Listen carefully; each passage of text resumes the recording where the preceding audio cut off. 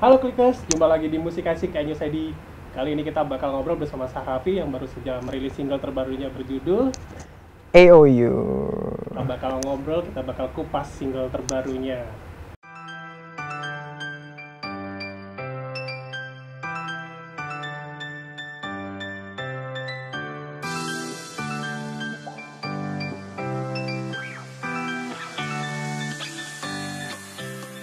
Oke, halo Sahrafi Halo, apa kabar?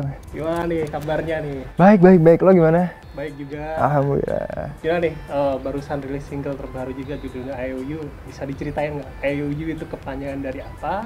Ceritanya tentang apa? Ah, jadi si AOU ini tuh kepanjangannya All Eyes on You.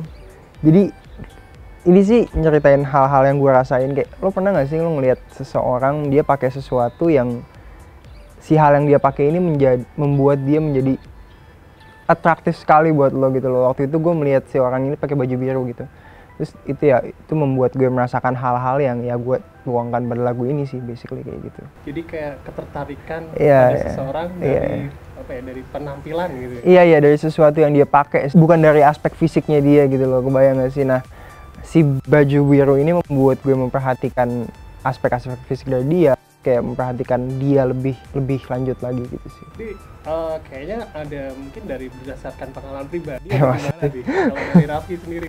um, nggak sih basically menurut gue sih yang gue rasakan menulis lagu itu so far so far sih menulis lagu itu mesti ada sesuatu yang terjadi dalam hidup gue yang ya itu sangat impactful buat gue sehingga itu membuat gue pengen menulis sih kalau kalau itu nggak kalau si sesuatu yang terjadi ini terjadi ini nggak nggak terlalu emosional buat gue gue nggak akan itu nggak akan men-trigger gue buat menulis sih sejauh ini sih kayak gitu Jadi memang jujur ya, da- apa, mengungkapkan Eh. Raffi sendiri apa gimana? Ya menurut gue sih, gue pengen men- kalau gue pribadi gue pengen menjadi penulis lagu yang lebih kontekstual.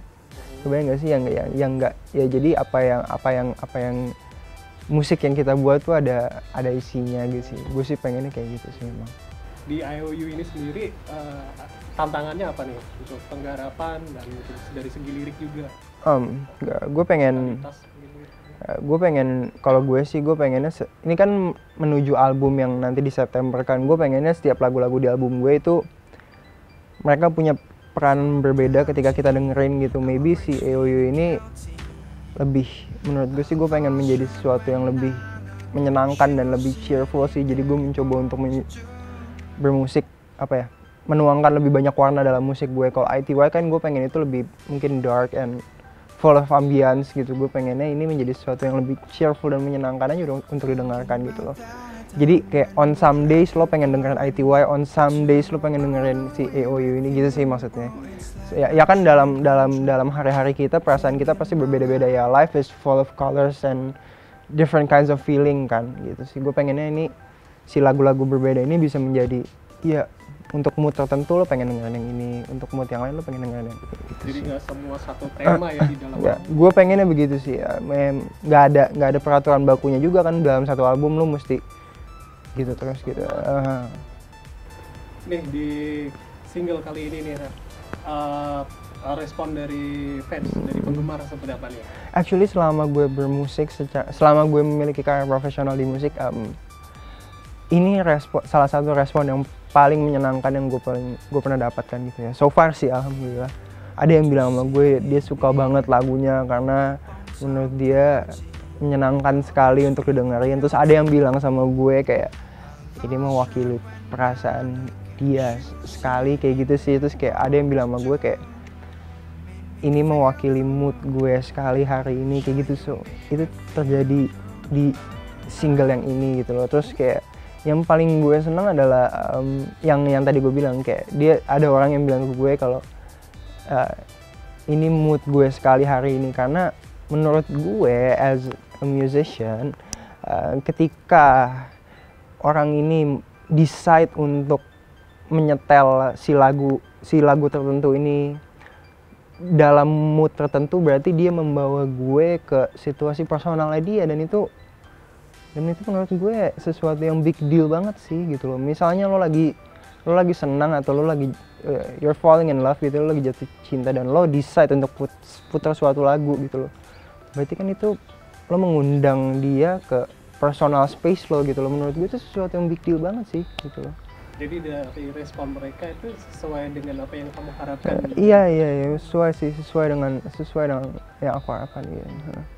Nah di album nanti nih ada nggak sih kolaborasi atau cuman kamu aja semua yang ada ada ada ada but aku pengen kayak tetap menjadi surprise saja tapi ada tapi ada tapi ada kayak I'm saving up for sesuatu yang spesial sih di album ini gitu ada ada kolaborasinya Oke berarti harus kita tunggu ya. Iya dong, iya dong, iya dong. ya. iya dong iya dong Oke terakhir Nel, Eh, harapan kamu untuk single ini dan rencana album kamu dan karir kamu nanti ke depannya seperti apa? Em, harapan harapan aku untuk si single ini dan albumnya sih aku pengen ini bisa lebih banyak lagi mewakili perasaan dan mood dan emosi dari seseorang sih dari semua sih teman-teman yang dengerin gitu loh. Because ya dalam membuat album ini I I do it with my heart. Wholeheartedly gitu loh. Maksudnya kadang-kadang itu bisa jadi klise sih cuman kayak I did it, I do it with my heart. Jadi aku harapannya ya ini bisa sampai ke hati juga gitu sih. Oke, terima kasih Raffi. terima kasih Kedatangan di musik asik Anyu Sedi, Terima sukses kasih. untuk single dan rencana albumnya nanti. amin Oke, berikut tadi obrolan kita bersama Sarafi. Semoga bisa memberikan inspirasi bagi kita semua. Sampai jumpa di musik asik Anyu Sedi berikutnya.